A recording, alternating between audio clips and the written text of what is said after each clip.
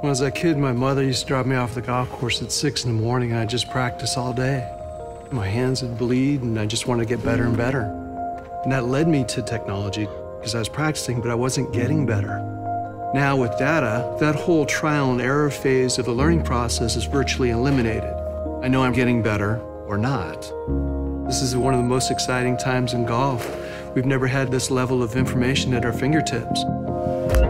It's happening now because there's been three megatrends over the last few years. One is cell phones have become a platform where you can connect sensors to. Second is the sensors that can collect a lot of data become smaller and cheaper. And the third piece is the database technologies have allowed for the storage of terabytes of data into the cloud. And when these three things are combined, then you have all the raw ingredients necessary for machine learning.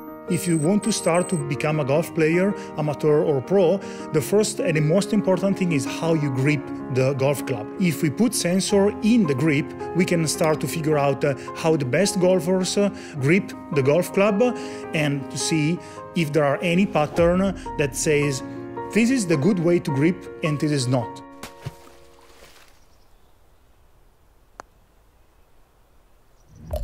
We can simultaneously track a club and a ball. And as soon as the ball lands, within a second after that, we have everything. You know exactly where it landed, how high it went, the club speed, the smash factor, what the spin rate was, your vertical launch angle, horizontal launch angle, everything about it. The partners we work with in golf have collected millions of data points from individual shots of amateur golfers. And what we're doing with them is using Azure Machine Learning to derive insights from it. Basically, a virtual caddy.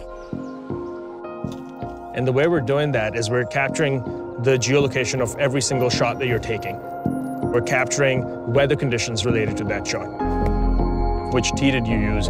Where did your drive end up? We're giving that into the artificial intelligence algorithm, which is then learning about your game and then is able to tell you what club should you hit on any given shot at any given instance.